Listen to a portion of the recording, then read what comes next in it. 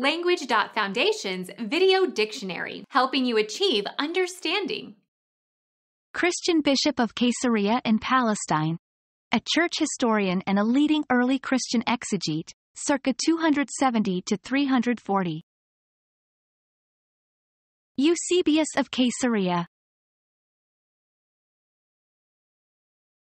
Become our student and get access to effective and free educational materials. Subscribe to our channel to become a part of our growing community and to learn English effectively.